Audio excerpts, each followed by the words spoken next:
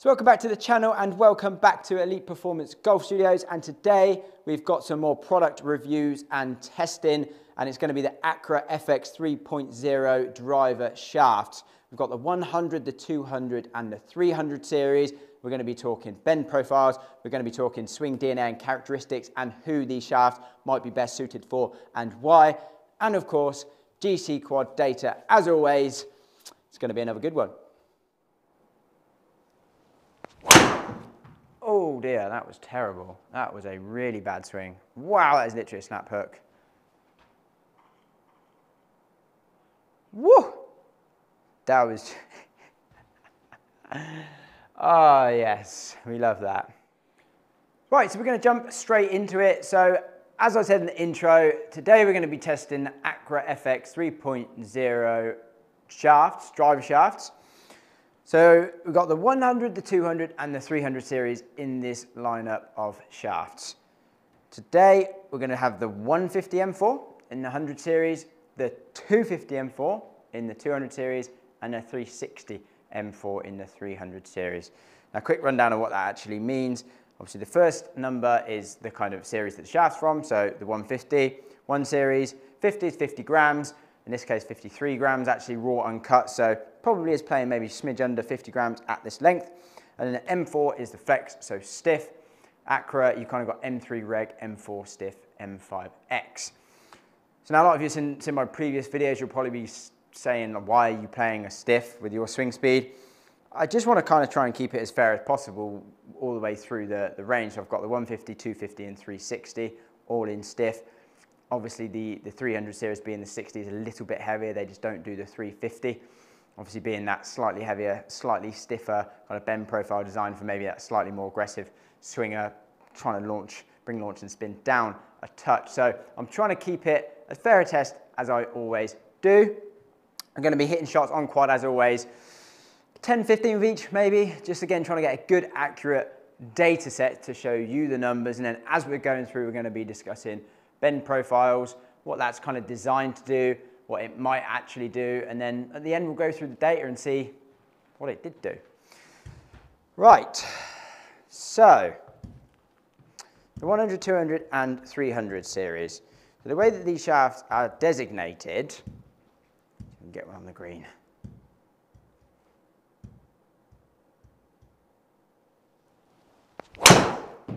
Strike felt good. It's a good line. Really good line. Kick right. Oh, go on, go on, go on. Tell you what, I'll tell you what. Do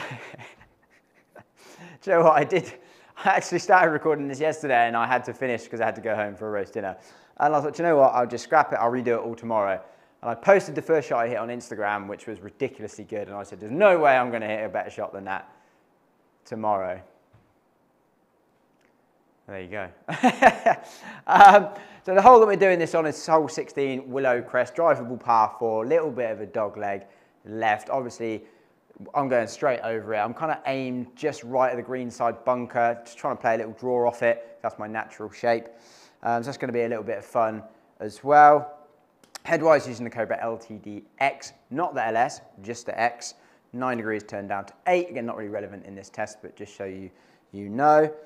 So yeah, the 100 series. So this is the one that's designated as the high launch, high spin shaft. Now, why is that? So when we're talking about a profile, profile is kind of where they are creating it to be stiff and soft, and that's kind of creating the playability of the shaft. So this is the softer tip profile. Actually, when compared to the others, it's softer overall, softer in the handle, softer in the mid, and softer in the tip section as well. But when compared to the others, it's closer in the kind of the handle and the butt section than it is in the tip section. It's quite a bit softer in the tip.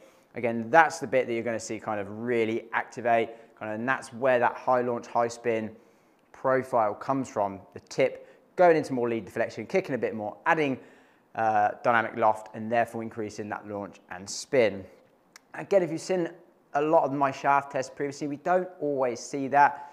But again, that doesn't necessarily mean their marketing's wrong everyone reacts differently to something they've got in their hand. For me, I might not see that happen, but for others, we might. and everyone reacts differently. This is why you've really got to come in, test stuff out, hit, shit, hit shots on quad, that was close, to see what it does for you. So the soft tip, 50 gram stiff, swinging at 116 that last one was. Anyone would generally think or generally say that's way too light, way too soft. It's going to launch and spin too much for you. Now, why do I not typically see that? It's got more to do with the way I load the shaft, which is where really a lot of the time we're going to see the bend profile come into, into play more so than launch and spin. All right, good luck following that one. I mean, yeah, that's not, not a bad shot at all, that. He says, as he hits basically the exact same shot, maybe slightly further left, but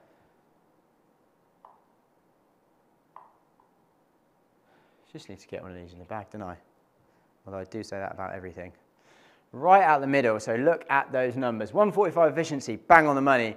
13 and a half launch. 2,000 backspin from that absolute centered strike.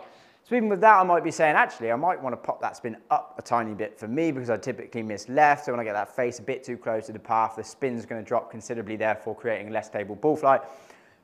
Again, that aside, it's not really launching and spinning too much for me, is it? This 50 gram stiff soft tip profile. Now, as I was saying, I don't really load the shaft aggressively. I'm not a big, strong guy. I'm not quick from the top. I'm not really affecting that shaft a lot. Therefore, I actually, with my kind of swing DNA and characteristics, I can get away with playing quite a, a different variety of shafts.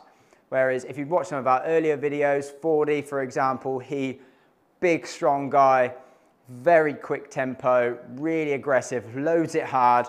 If I give him this, well, he might like snap it for a start, but he wouldn't. But it would just be far too much movement in, in the shaft for him. He wouldn't be able to feel what's going on and he would just lose it all over the shop. So that's really what we're talking about when we're talking bend profiles. We're trying to match it up with your swing DNA and your swing characteristics. That felt great. I'm dead straight. Sound like me?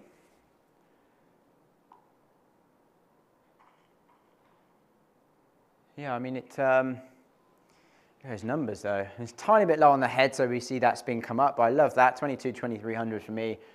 Really like it. Um, but yeah, gonna get 10, 15 with this. That actually felt, felt quite good.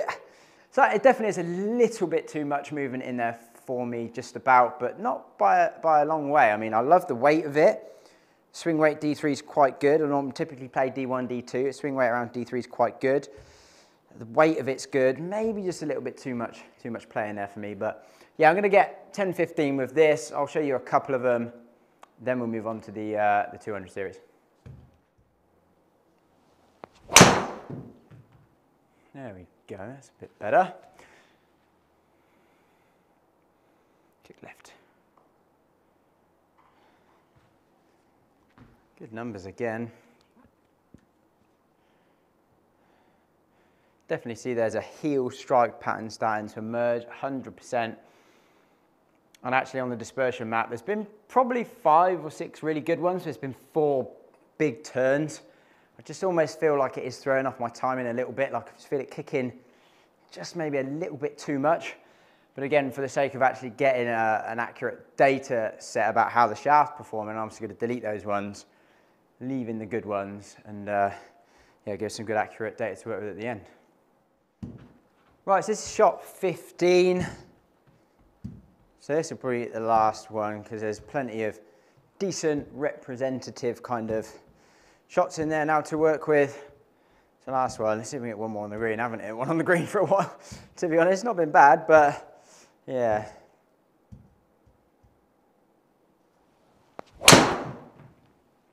Draw. It's very straight.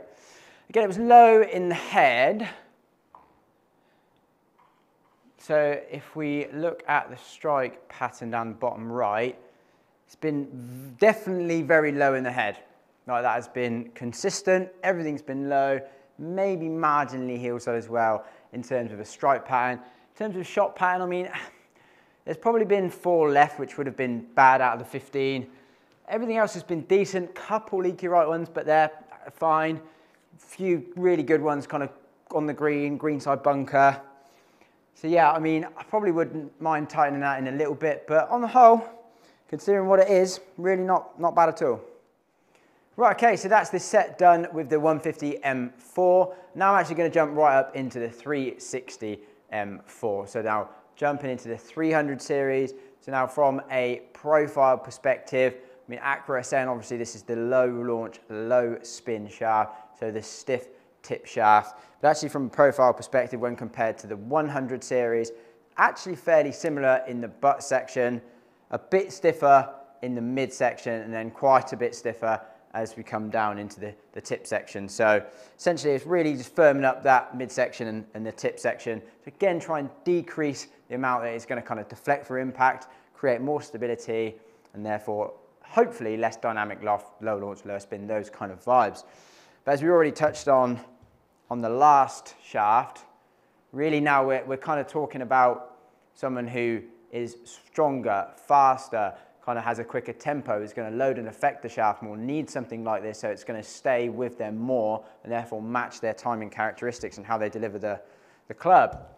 So the 360, obviously 60 gram being the weight, it's actually 63 and a half, I think, raw. So again, but it's probably now playing 60, just under 60. Um, so 10 grams heavier than the last. So there's a one swing point difference, mainly because of the mass. The balance point's marginally different, but it's mainly the mass in the shaft. 9 grams is about one swing weight. So seeing that pop up to D4. Right, see if I can remember how to, uh, to swing after that little, little break. see how this one does.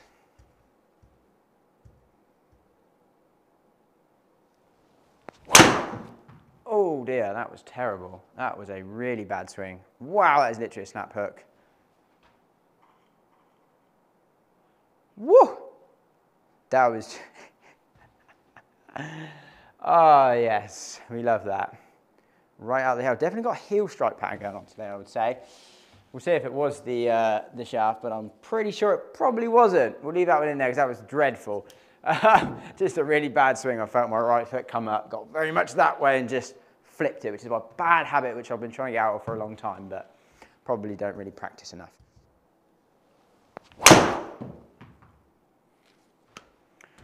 That's incredibly interesting. I mean, that's, yeah. Essentially, that's three snap hooks in a row. Pretty much. Um, yeah, face just very close to the par. Well, actually, it's only two point, well, about three degrees, which is certainly enough. It's just that heel strike that's actually, uh, it's killing me a little bit, to be honest with you. Right, come on, see if we can get a good one. But that's what I was saying about heavier, stiffer profiles for me. They just go left.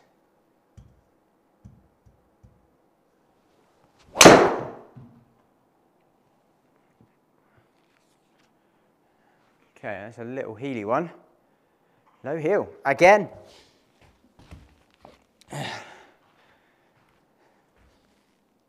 That's interesting. Yeah, so I mean, straight away it certainly does feel quite a lot heavier, quite a lot stiffer to me, which again, me personally, I, I don't like. I don't generally respond to that very well. You can see the first three there, well, three were basically snap hooks straight off the bat, and then one just, just slightly down the right. That's okay. It was a little bit of a low heel strike, but for that, I really had to start to feel like I was manipulating my swing to do that, which obviously don't, don't really want to feel like I have to do, to be completely honest with you. But we'll see what happens with a few more. Ah, again, it felt better, but was out the middle. It's gone left. Better, it's not a snap hook. I mean, I'm going to be able to pitch onto the green from there, but yeah, it wasn't, wasn't great. Face again, just, just too much close to the path. Hmm, interesting, isn't it? It's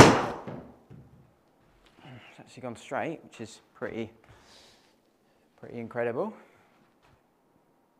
Yeah, good strike. Nice. There we go. There's a decent one. Again, this I've said this a few times going through tests. It's quite difficult almost to, to adjust sometimes into different shafts and stuff. And we see it in fittings, obviously. But what's really difficult to do is try and keep your swing consistent, especially in a fitting scenario. When I give you something and you're not getting on well with it, always try and say, try and keep your swing because we're trying to find something that matches how you want to swing. If it's just not vibing, it's not gelling, get it out of your hand straight away. Like two, three swings like we saw there with that, I would have been like, nah. Like that's just, it's just not. Then, because after that, you're going to start changing like I have to do now. I have to start manipulating my swing. Feel like I'm swinging slightly differently to get the shaft to work for me when we just, we don't want that. We want it just to work for you how you swing it.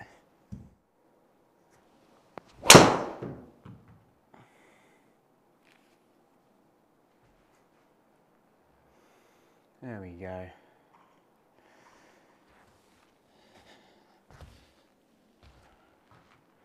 Bit more like it.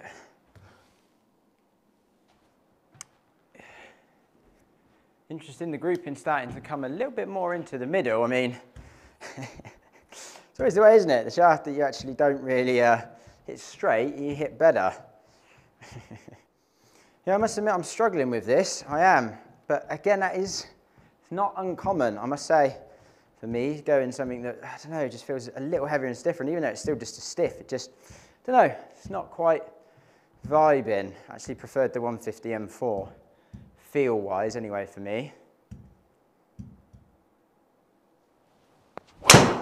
That's just left. I mean, it is just, it is me, it's a bad swing day. 100% a bad swing day which is quite ironic actually, because if you watch my last video where I did the driver forgiveness, the kind of bomber versus fairway finder, I literally could not hit a bad drive. I couldn't hit a bad drive. This is much more representative of uh, my, my driving. I don't know what was going on that day. Could not miss. But this is, um, yeah, a bit more like me, I'd say.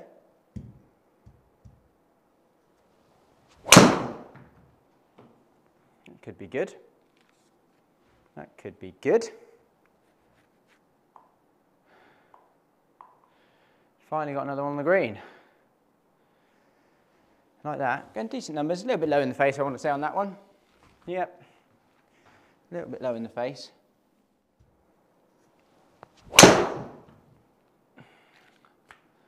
Felt like a better swing. Little bit heely still, but Again, pretty good. Pretty good. So I've hit 20, 20 shots with that. I actually would say the strike pattern was uh, probably more varied. I mean, definitely, as you can see on the last little graphic there, still a bit hillside. So that's just my strike miss today. This hasn't necessarily changed that. If anything, I'll probably struggle with this more, to be completely honest, than the 150. Again, I said I typically do struggle with something when it's a bit heavier and a bit stiffer. I feel like I've got to pull on it a bit more and that kind of gets me a bit more that way, which then makes it go everywhere. so, we're really interested now to dive into the 200 series. Right, so we've had a little bit of a mare, just having a bad day. Software issues, the battery died, I, I didn't realize, I don't know when. The storage got full on the, my PC for the screen recording, so everything just stopped. So I've actually hit about five shots with the 200 series, which I'll leave in because actually most of them were, were pretty good to be fair. Couple I pulled, one just left of the green, just off the green, one green side bunker, and then two just right at the green side bunker. But so I'll leave some of them in. Anyway, I'm gonna have to restart this section. So moving into the 200 series, so the 250 M4. So 200 series, again, designated mid-launch, mid-spin kind of profile from Accra in this, uh, in this series. The 50 again, so we're moving back to 50 grams. So this is actually 56 gram raw weight, so three grams heavier than the 150. But actually, again, cut down, it's, it's probably just over 50 grams. So back down to that sort of weight range. So back down to the D3 swing weight range as well, which is great. Uh, again, M4. So the 200 series, in terms of the profile, it's actually slightly stiffer in the butt section than the other two, but in terms of the mid and tip, it's sitting right in between those two. So someone that maybe likes to feel a little bit more stability in the handle, but a little bit more kick down the bottom, could be a great profile for that person. Maybe if they load it a little harder, but like to feel a little something. So it could be fantastic for them. But again, with it being right in between the one and 300 series in the mid and tip, that again is, you know, it's, it's finding that middle ground in terms of the deflection, hence the mid launch, mid spin. But again, we'll see what the numbers say. For me, I think the weight of this just feels better. It's got a little bit of kick there, which I like. Now I've had about half an hour sit down while I waited for everything to charge getting the first T excuses in there already. Um, and this is my first drive back. So let's, uh, let's see what, see what happens.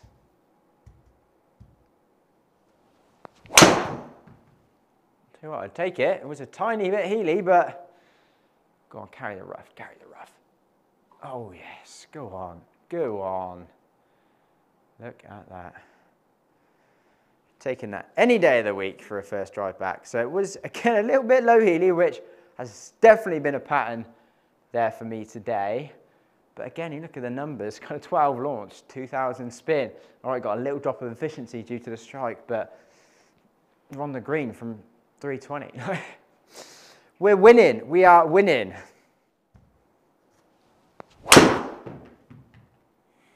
So hard on the face. Could be very good. That's gone absolutely miles. Just past pin high. I mean, that was not a particularly great strike. Centered, but slightly high. Yep, slightly high. 15 launch, 1600 backspin. So you see the launch come up and the spin come way down due to the strike. And I think I've made this test a lot harder for myself by playing this, this, eight degree head. I think I really should fit myself because I don't need to be playing eight degree heads anymore. It's making my life a little bit, a little bit harder than it needs to be with that low spin. So yeah, I mean, coming back to the whole profiles, you know, Accra designing these shafts to play a specific way in terms of low launch, mid launch, high launch is not wrong. That's the marketing of how they're designing the shafts to play based on robot testing and physics about what we know about how the shaft will react throughout the swing. A softer tip would obviously kick, for, kick more, therefore delivering more dynamic loft. Again, that's not always how it plays out with us with human variance and how we react to it. So that's why we need to see what happens on here. And that's why I love to use the word kind of gel. I'm trying to find a weight, a swing weight, a bend profile that gels with you and your swing, how you load it and your timing. And that's why you get a lot of questions about shaft and what might be better for me. I, I don't really love those questions and I don't generally answer them because again, in theory, I would be playing the 300 series being the heavier, stiffer tip because of my speed and all those kind of things. But it's my least favorite one feel-wise. And I, I think that's such a big thing when it comes to fitting. Feel.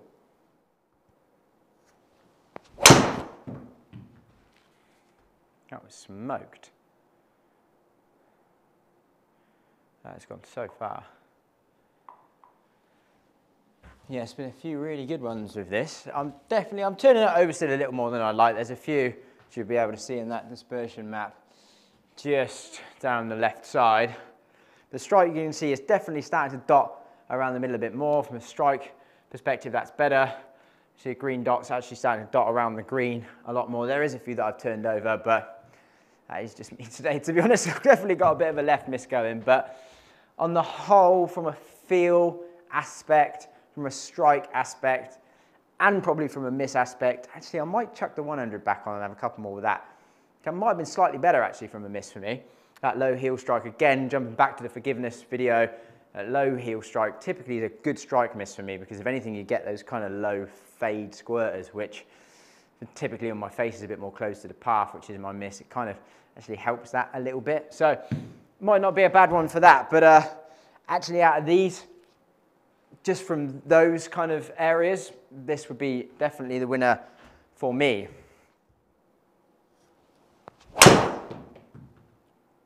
Yeah, again, look at that. I mean, it's just down the line. The carry is just way out because I'm striking it out the middle. really good ball speed, good launch, good spin. Yeah, I mean that strike pattern is, uh, strike pattern is much, much better, much tighter. Shot dispersion's better. Again, there has been a few left. So again, that's, it's been some ropey swings today, I'm not gonna lie. Um, but I'm gonna get a few more with the 200. Then we're gonna look at the data.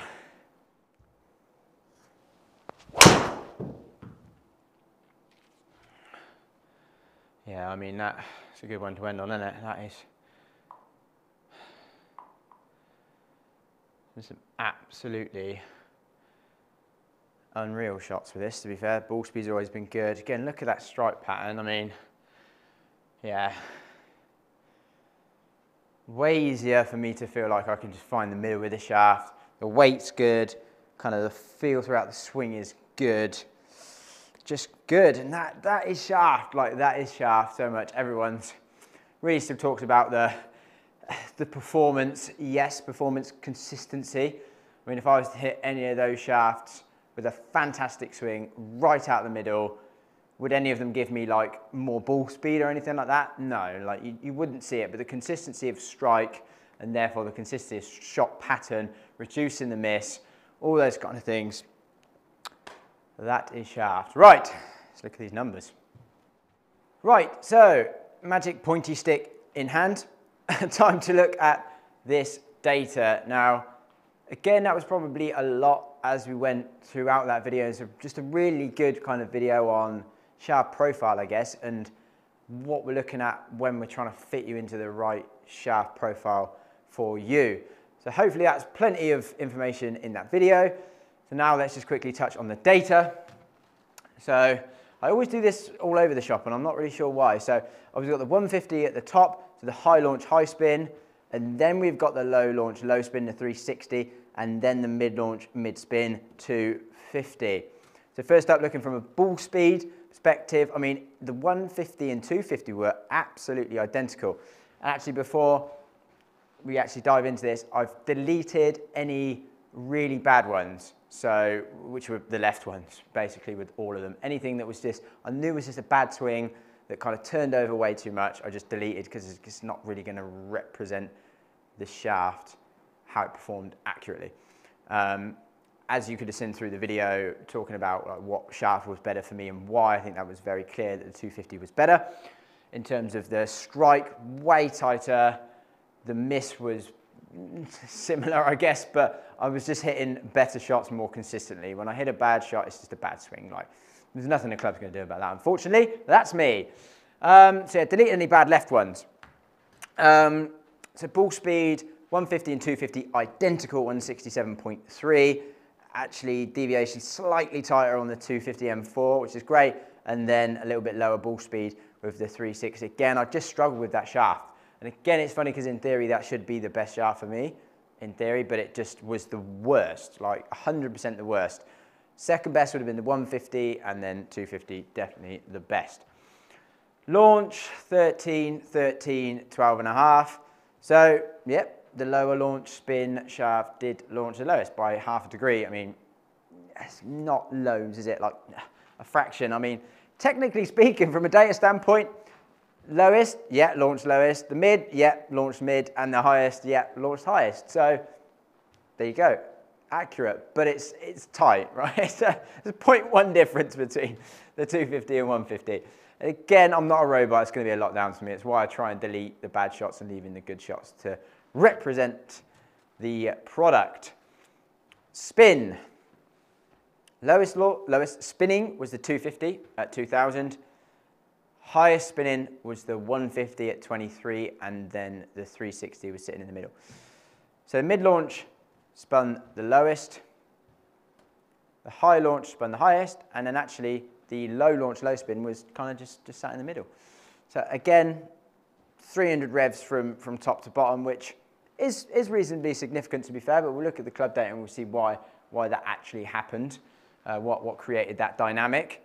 Um, from a kind of standard deviation perspective, ball speed, the 250, launch, actually the, the 150 was super consistent when it came to launch and then the spin as well was actually more consistent with the 150. which is, which is very, very interesting. Um, and then carry, lowest carry was the uh, 300 series, again, just because I struggled with it. Jumping up three yards into the 100 series, which again was, was slightly better. I like that a bit more. And then 300 yard carry average with the, uh, the 250. So again, actually, it's not nothing. I mean, it's a six yard average carry distance between those two shafts.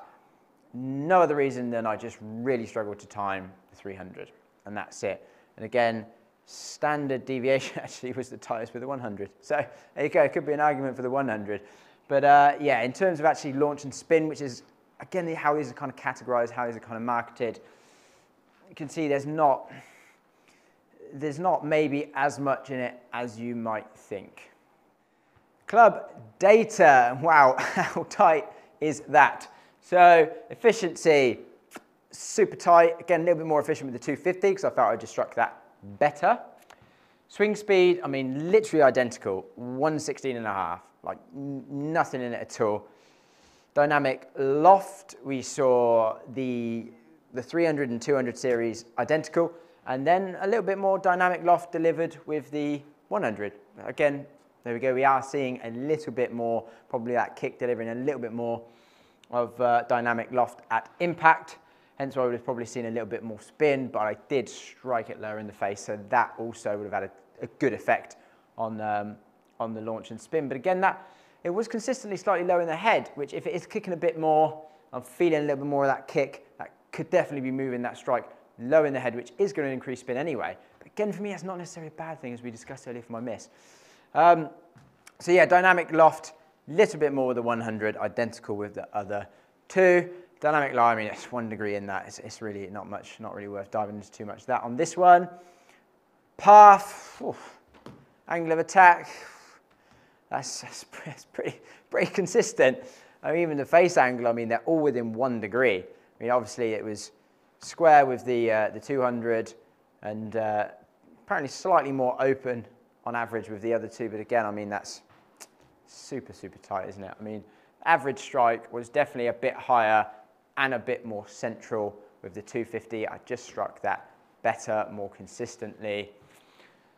So yeah, I mean, there you go. I hope that was enough of a real deep dive into these shafts, what they're about, who they might be better suited for, what we're really looking for when it comes to shaft fitting in driver fittings. And yeah, sort of what you, what you can gain and see out of the numbers, the dispersion, the strike consistency, the miss consistency, all of those things is what we're looking for. So yeah, hope you enjoyed that. Please like, subscribe, comment, all of that jazz. Let me know what you want to see. We're going to keep the content coming for you guys. Thanks for watching. I'll see you in the next one.